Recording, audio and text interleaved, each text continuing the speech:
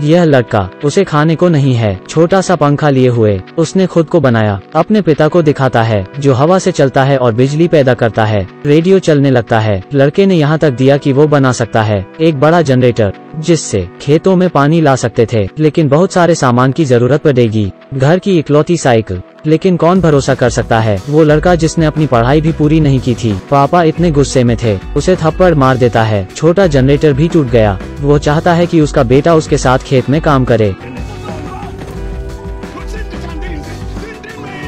यह अफ्रीका में मलावी जगह है। बहुत पहले वहाँ एक, बहुत बड़ी बाढ़ आई थी। पिता को अपनी जान की कोई परवाह नहीं थी। वो बीच को कीचड़ से बचाना चाहता है, लेकिन सब बेकार है। तूफ़ान के बाद अकाल पड़ गया, मिट्टी सूख गई। बिना पानी की एक बूंद के सारी फ़सलें मर चुकी हैं। सभी ने कस्सी उठाई और ज़मीन खोदने लगे। पैसे वाले लोग कहीं और चले जाते हैं। यहाँ रहना जीवन बहुत कठिन होगा। जिन्हें की इच्छा करना भी पाप होगा। यहाँ भूख से मरने वालों की संख्या कम नहीं है। एक कटोरी दलिया, यह परिवार का भोजन है। बचाने के लिए। अगले साल का राशन। स्कूल में। प्रिंसिपल ने विलियम को खड़े होने के लिए कहा, लड़के से माफ़ी मांगी। यहाँ हम मुफ़्त में नहीं पढ़ाते हैं। सिर्फ़ इसलिए कि उसके पास ट्यूशन फ़ीस देने के लिए पैसे नहीं थे। विलियम ने कहा कि उसके पिता पैसे देंगे। वो शब्द खुद लड़का भी इस बात पर यकीन नहीं करता। लगातार सूखा। जीना दुभर हो रहा था। सोचना बेकथा बाई के फ़ीस के बारे में। यह लड़का ज्ञान के लिए तरसता है। लेकिन इस स्थिति में यह सोचने का तरीका कितना भ्रामक है। विलियम अपना पेट भरने के लिए पक्षियों को पकड़ना चाहता है। कितनी बेकार जगह है। वहाँ कोई पक्षी भी नहीं था। पिता घर में देखता है। घर का सारा खाना गंभीर रूप से खराब हो गया है। परिवार केवल दो महीने तक ही खा सकते था, लेकिन अगली फ़सल एक साल बाद होगी। उसने अपने बेटे को पकड़ने के लिए दे दिया। घर में बचत के सारे पैसे खाना खरीदने के लिए, लेकिन विलियम करीब नहीं आया। वो बहुत डरा हुआ था। कतार में खड़े लोगों की संख्या बहुत है। लोगों की गिनती और राशन कम था। वह नीचे से घुसकर आधा बैग खाना खरीद लाता है, लेकिन घर जाते हुए वो मुश्किल में पड़ गया। सभी को बैठा लिया गया। सभी गुस्सा हो रहे थे और अपने राशन को बचाना चाहते हैं।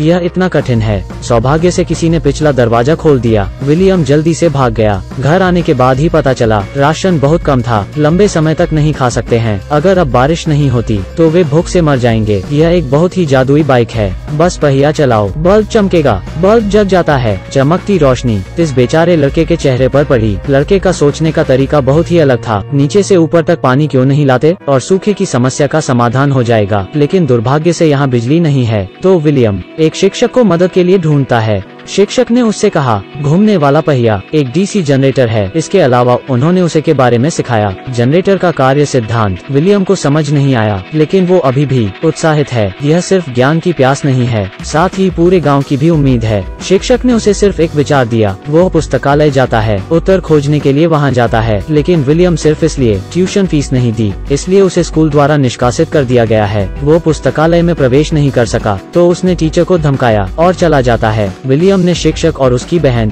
तहखाने में प्यार के बारे में बात करते देखा। विलियम बहुत गुस्से में है। शिक्षक से बदला लेना चाहता है। वो फैसला करता है। शिक्षक की साइकिल को तोड़ने का वो तोड़ने ही वाला था। वो बल्ब को फिर देखता है। शिक्षक भी वो उस लड़के को नहीं रोक सका। उसे खुद पुस्तकालय में ले गया। यहाँ विलियम को एक किताब मिली। किताब ऊर्जा उपयोग के बारे में। जानिए पवन जनरेटर, अगर सफल होता है, बिजली बना सकते हैं, जिससे खेतों की सिंचाई के लिए पानी ला सकते हैं। जनरेटर बनाने के लिए कबाड़ के ढेर में वह सामान उठाता है। डीसी के जनरेटर के लिए शिक्षक उसकी मदद करेगी। विलियम अपना लक्ष्य बना लेता है। यह शिक्षक की बाइक है, लेकिन वो यह नहीं जानता था कि कैसे कहना है। तो बस वो कर सकता है। अपनी बहन को इस योजना के बारे में बताता है। लेकिन अगले दिन कौन जानता था? वो शिक्षक के साथ भाग गई। संदेश छोड़कर लिखा है, मैं जा रही हूँ। उसी समय, विलियम के लिए एक जनरेटर जिसे वो हमेशा ध्यान में रखता है। विलियम इंतज़ार नहीं करता, वो मदद करने के लिए अपने दोस्तों को ढूंढता है। बैटरीज की बजाय वो मोटर प्रयोग करता है और मोटर को लकड़ी की पंखड़ियों से जोड़ देता है। जनरेटर को रेडियो से कनेक्ट कर देता है। पंखड़ियाँ धीरे धीरे चलती है।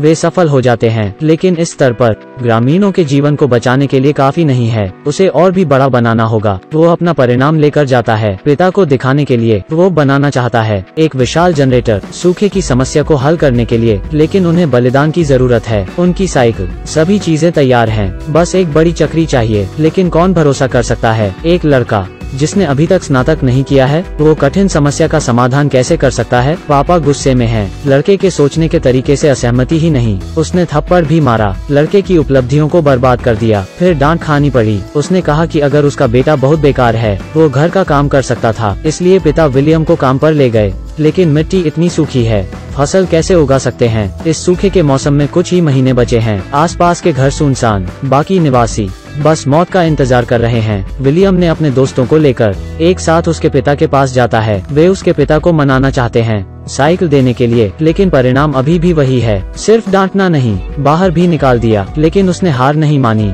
क्योंकि उसे उस पर भरोसा था। ज्ञान जीवन बचा सकता है। चीज़ें अचानक बदल गई हैं। उसकी माँ को पता लगा। उसने उसके पिता के साथ से झगड़ा किया। उसने कहा, वे अपनी जान नहीं बचा सकते। तो साइकिल का क्या करेंगे? चमत्कार। हमें बचा सकता है। पिता समझ जाते हैं। साइकिल से जाते हैं। अपने बेटे को ढूँढने। उन्होंने कहा कि जीवन सपनों से भरा है। कुछ बातें झूठ होती हैं। वो बहुत बुरा है, लेकिन विलियम पिता को कहता है, झूठ बोलने की कोई ज़रूरत नहीं है, भले ही यह सपना न हो, क्योंकि पापा लगातार उसे स्कूल ले जाते हैं तो उसके दिल में, पिताजी हमेशा एक सफल पिता हैं। दिल की बात खुलकर कहने के बाद, पिता और पुत्र समस्या का समाधान के लिए, पिता साइकिल ले आए, और अपने बेटे को दे दिया। सभी सामग्रियों को इकट्ठा करने में भी मदद करते हैं, और भी लोग मदद के लिए भी। अधिक लंबे समय बाद, पानी पंप सफलता पूर्वक बनाया गया। वो पानी के पंप को कुएँ में ले आया, जनरेटर के तार में जोड़कर, एक बड़ा पंखा भी बनाया। पंखे घूमने लगते हैं। जनरेटर ने काम करना शुरू कर दिया।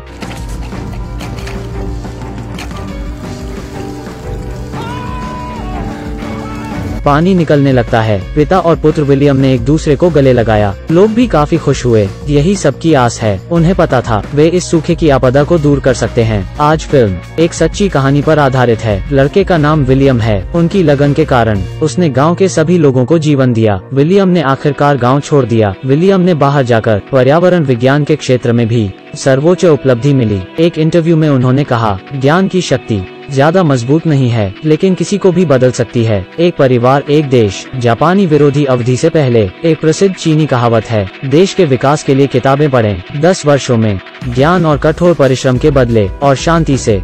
ज्ञान देश को बदल सकता है। जैसे चावल की प्रकार को चुनना भी ज्ञान है, और हमारा समय। यह ज्ञान गंगा है, जो बीते हुए समय को एक समृद्ध और अधिक सुंदर भविष्य का निर्माण करने के लिए है। शायद हमारे पूर्वजों ने यही कामना की तो कोई फ़र्क नहीं पड़ता कि आप क्या कर रहे हैं। आपको विश्वास करना चाहिए कि ज्ञान वास्तव में भाग्य बदल सकता है। ज्ञान के बिना भाग्य बदलने का कोई उपाय नहीं है। हम क्या कर सकते हैं? ठीक है, मैंने आज बहुत बात की। तुम क्या देखना चाहते हो? टिप्पणी में छोड़ दो।